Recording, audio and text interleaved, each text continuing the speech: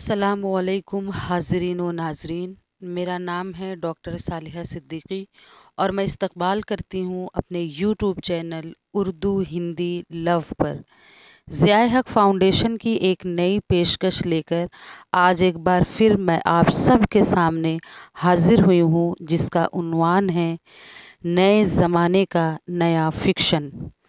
आज हम इस मौजू के तहत जिस अफसाने पर बात करेंगे, उस पर पहले ही एफबी से लेकर तमाम सोशल मीडिया तक एक हंगामा बरपा हुआ है। मैं भी इस अफसाने पर अपने ख़यालात पेश करने के लिए आपके सामने हाजिर हूँ। इस अफसाने का उन्वान है खुदा गुम हो गया और इसके मुसनफ़ है अमर जलील। इस अफसाने पर बात करना इसलिए ज़रूरी हो गया कि नए ज़माने के नए तकाज़े के मुताबिक जिस तरह पूरी दुनिया में फ़िक्शन में नए नए रुझानात, नए ख़यालात को जगह मिल रही है, नए फ़िक्रोफ़न को लोग एक्सेप्ट कर रहे हैं, उसका इस्तकबाल कर रहे हैं, लेकिन अफसोस कि उर्दू में एक अफ़साना आया जिसका उनवान है, खुदा गुम हो गया।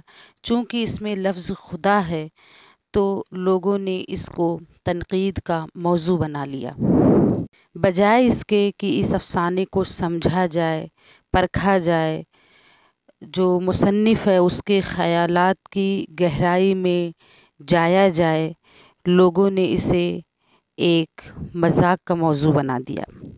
खैर, इस सूरत हाल को देखते हुए अल्लामा इकबाल का एक शेर एक शेर जो है वो जहन में इस वक्त गर्दिश कर रहा है, जो मैं आपके सामने पेश करना चाहूँगी कि किस तरह हुआ कुंद तेरा नश्तर तहकीक, होते नहीं क्यों तुझसे सितारों के जिगर चाक।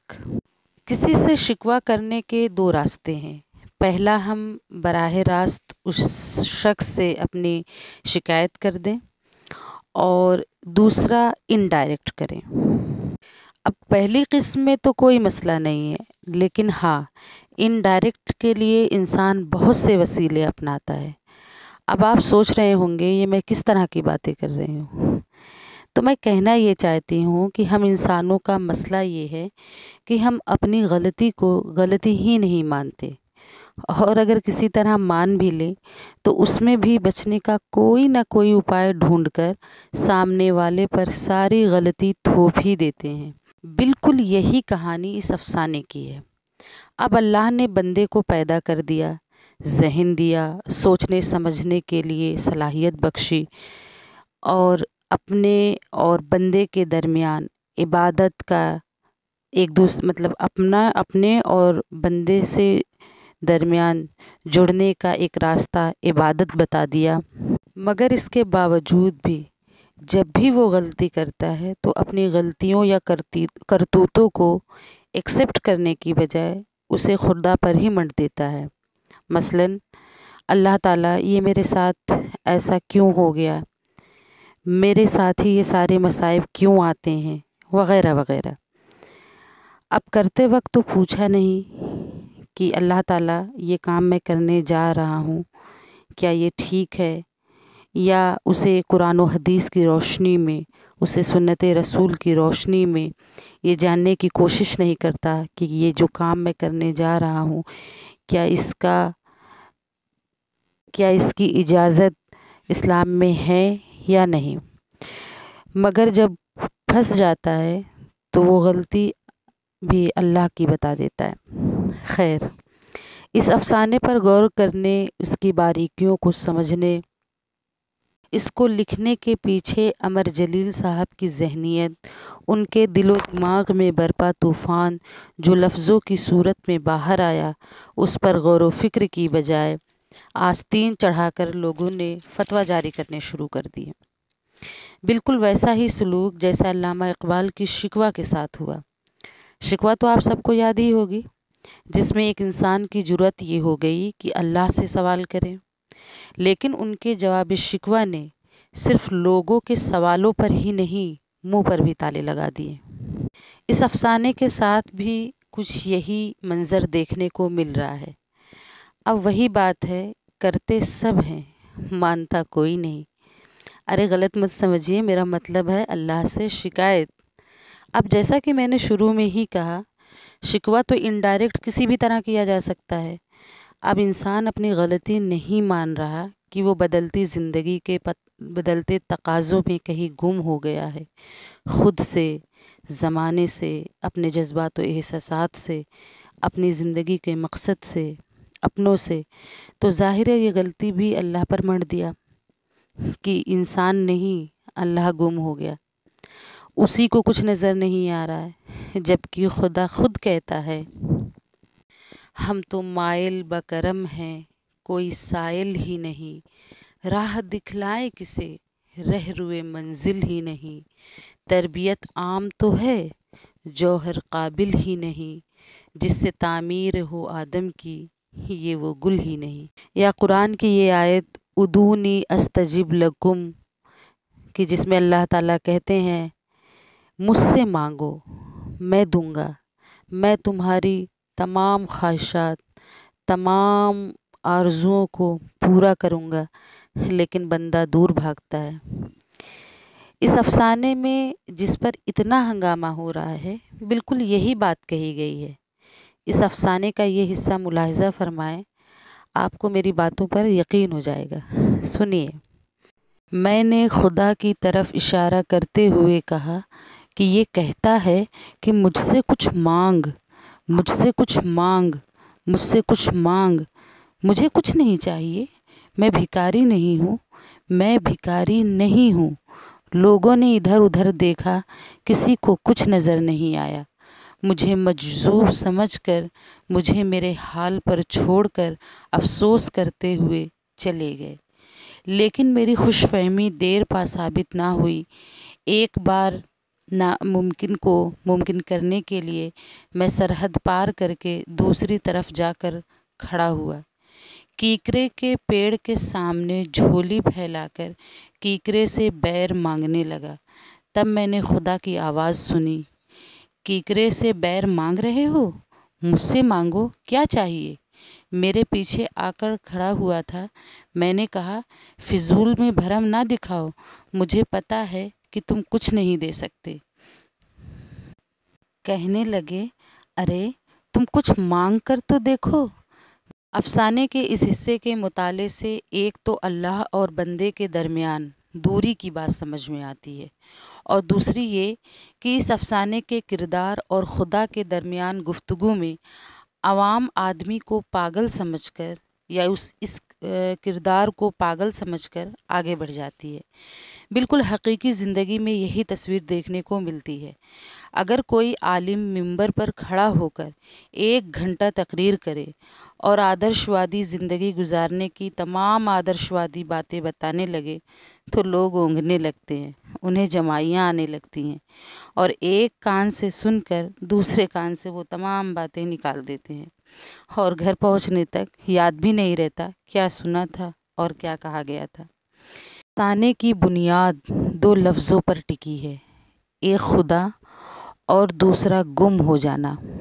जिस तरह से अल्लामा इकबाल ने अपनी शायरी को पुरसर बनाने के लिए तारीख़ी किरदारों का सहारा लिया, इस्लामी किरदारों का सहारा लिया और उन्होंने उनकी ज़ुबानी ड्रामाई अंदाज में अपनी नज़मों को पुरसर अंदाज में पेश किया बेशुमार तलमीहात का सहारा लिया।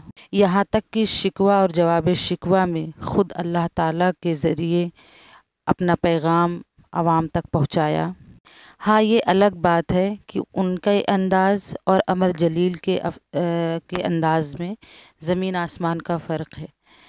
साथ ही हमें ये भी समझने की ज़रूरत है कि दोनों दौर अल्लामा इकबाल का जो दौर था वो बिल्कुल अलग था उस ज़माने के लोग उनके ख़यालात मुख्तलिफ़ थे और आज इक्कीसवीं सदी का जो मंज़रनामा है, वो बिल्कुल मुख्तलिफ़ है।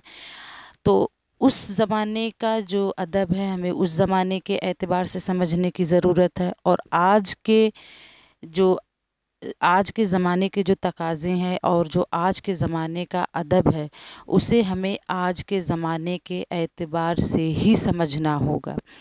उसे हम सौ साल पीछे जाकर अगर समझेंगे तो ये सिर्फ़ हमारी बेवकूफ़ी के अलावा कुछ भी नहीं है। खैर, अब असल मौजू पर आते हैं कि इस अफ़साने में जो लफ्ज़ इस्तेमाल हुआ है खुदा।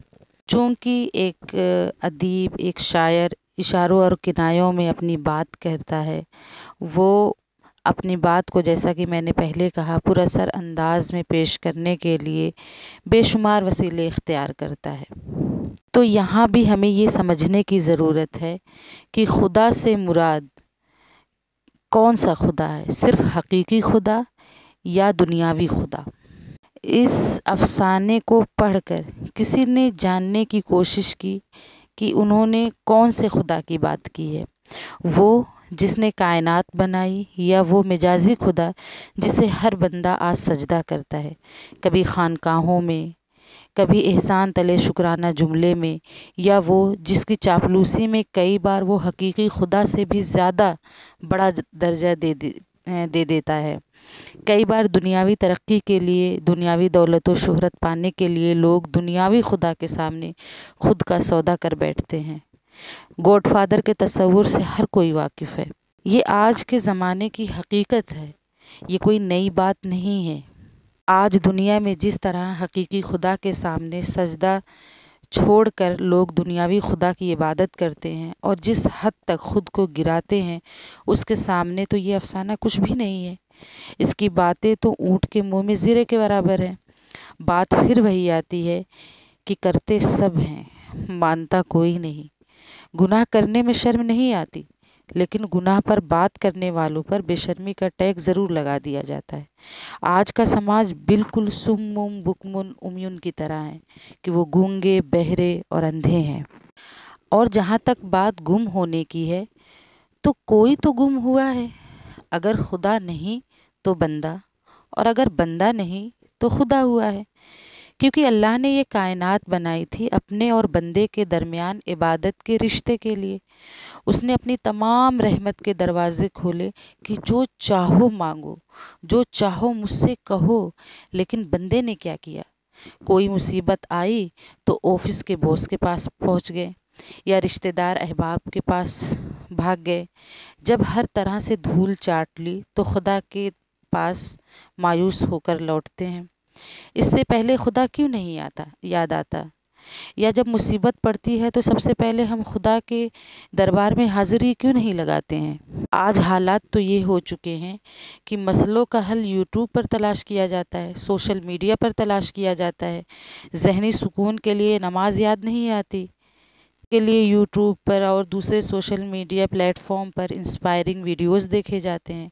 मसलों के हल तलाश करने की बजाय चाहे वो जहनी हो, चाहे वो जिस्मानी हो, चाहे ज़िंदगी से मुतक़ हो, कोई भी ज़िंदगी का शोबा हो, आज हर मसले का हल सोशल मीडिया पर तलाश किया जाता है।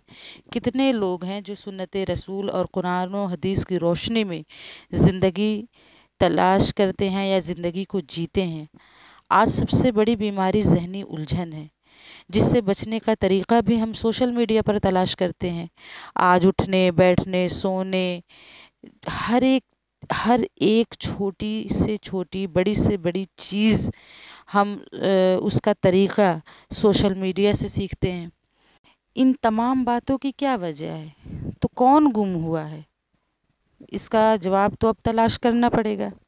और इस अफ़साने में मैं जितना समझ पाई हूँ, मुझे लगता है इन्हीं गुम करदा सवालों के जवाब जो है खुदा के ज़रिए अमर आमिर जलील जो है वो तलाश करने की कोशिश कर रहे हैं। इस अफ़साने ने बेशुमार जहन के दरीचों को खोलने का काम किया है। जब से मैंने ये अफ़साना पढ़ा है, मेरे जहन में हज़ारों लाखों बातें गर्दिश कर रही हैं। अफ़साने ने जहन के इतने दरीच, दरीचों को खोल दिया है, सोचने का वक्त दे दिया है। इससे बड़ी कामयाबी मुझे लगता है, एक अफ़साने के लिए हो ही नहीं सकती।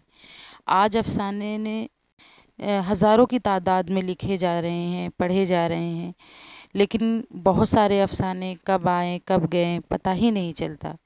इस अफ़साने ने कम से कम हलचल तो मचाई, सोचने का वक्त तो दिया। मैं अपने तौर पर सिर्फ़ इस अफ़साने को जितना समझ पाई हूँ, राइटर को जितना जानने की कोशिश कर पाई हूँ, इस अफ़साने की रोशनी में मैंने आपके सामने वो तमाम बातें पेश करने की एक छोटी सी कोशिश की है। मैंने जो कुछ भी कहा है, वो सिर्फ़ और सिर्फ़ इस अफ़साने की फ़हम को लेकर कहा है। मैंने इस अफ़साने के हवाले से जितना भी मैंने सोचा, जितना भी मैं गौर व फ़िक्र कर पाई, मैंने आपके सामने वो तमाम बातें पेश कर दी। अब आप भी सोचिए और मैंने जो कुछ कहा, उसके बारे में आपका क्या ख़्याल है, मुझसे ज़रूर शेयर कीजिए। इन्हीं कलिमात के साथ मैं अपनी बात ख़त्म करती हूँ। खुश रहिए, सोचते रहिए और मेरे चैनल को लाइक और सब्सक्राइब कीजिए और मेरी हौसला अफजाई कीजिए। बहुत बहुत शुक्रिया।